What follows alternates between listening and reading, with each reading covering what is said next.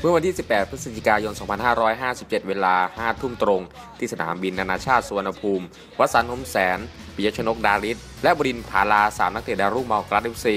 ได้เดินทางไปยังประเทศญี่ปุ่น ด้วยสายการบินไทย เที่ยวบินที่ TG 622 เพื่อเสริมประสบการณ์ และพัฒนาทักษะฟุตบอลกับทีมเซเรโซ่โอซาก้า ทีมในศึกเจลีกเป็นระยะเวลา 14 วัน ระหว่างวันที่ 19 พฤศจิกายน ถึงวันที่ 2 ธันวาคมนี้ ซึ่งการเดินทางไปยังประเทศญี่ปุ่นครั้งนี้ มีนายศุภสินลีลาฤทธิ์รองประธานสโมสร อนุรักษ์ศรีเกิดผู้ช่วยผู้ฝึกสอน และนายธนากรปันทวังกูร เลขาธิการสโมสรฟุตบอลบางกอกกล๊าสร่วมทางไปด้วย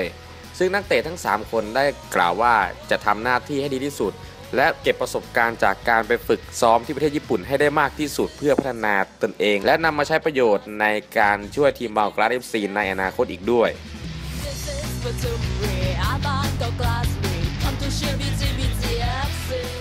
ก็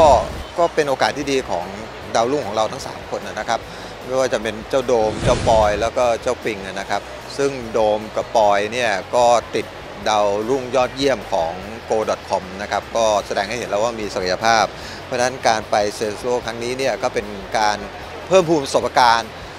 ให้ไปเรียนรู้ว่าวิธีที่รีกชั้นนำในญี่ปุ่นน่ะเขาฝึกซ้อมกันหนักแค่ไหน ซึ่งคราวที่แล้วเนี่ยเรามีเจ้าเอ่อเจ้าเจ้าเต๋านะครับ เจ้าออสเจ้าบาสไปแล้วกลับมาเนี่ยก็มีเขาเรียกว่า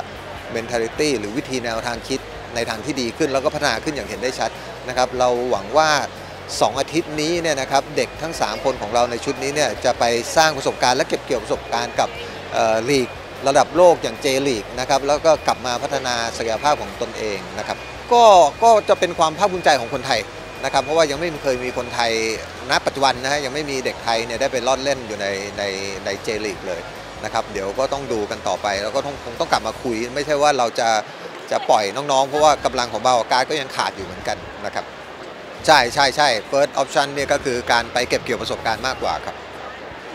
ก็เดี๋ยวเราก็จะไปลองดูนักเตะของเซเลโซนะครับว่าว่านักเตะของเซเรโซ่เนี่ยมีใครไหมที่ไม่อยู่ในแผนเขาแล้วก็ผมเชื่อมั่นว่าไอ้นักเตะที่เล่นอยู่ในเจลีกเนี่ยมันเล่นบ้านเราได้สบายนะครับเพราะฉะนั้นเนี่ยก็อาจจะไปดูแล้วไปนั่งคุยกับเขานะครับก็ก็ถือว่าเป็นโอกาสที่ดีครับที่เราได้ได้ไปฝึกซ้อมกับ ที่เซเรโซ่ครับก็ก็จะตั้งใจฝึกซ้อมเก็บเอาประสบการณ์ที่นู่นให้ได้เยอะที่สุดครับครับผมก็ช่วงที่สโมสรหยุดหยุดไปเนี่ยเราก็ฝึกซ้อมเบาๆรักษาสภาพอย่างนี้ครับเพื่อที่ว่าไปนู่นเราก็จะได้ซ้อมกับเขาได้เลยเงี้ยครับก็ไม่ไม่หวั่นใจครับ คิดคิดว่าเป็นโอกาสที่ดีมากกว่าครับ เป็นประสบการณ์ที่ดีครับ ก็ปีนี้ก็บางกอกการ์ดนะของเราก็ได้แชมป์เอเบครับก็ ถือว่าเป็นสิ่งที่ดีสำหรับปีหน้าครับผม ก็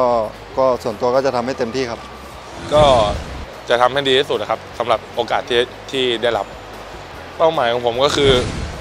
ไปอยู่ที่นู่นก็ทำทุกวันให้เต็มที่ แล้วก็มีมีอะไรก็ใส่ให้หมดอะไรอย่างเงี้ยครับก็โค้ดบอกอะไรมาหรือว่าได้ซ้อมอะไรก็ทำให้เต็มที่ ก็ไม่ไม่แนะนำนะ แต่ก็ ก็พูดว่าเออโอเค ได้ไปญี่ปุ่นนะอะไรอย่างเงี้ยก็ดีใจด้วยอะไรอย่างเงี้ยประมาณนี้ครับก็ก็ไม่ไม่ค่อยได้พูดอะไรถ้าถ้าได้โอกาสจริง ๆ ถ้าถ้าได้โอกาสจริงก็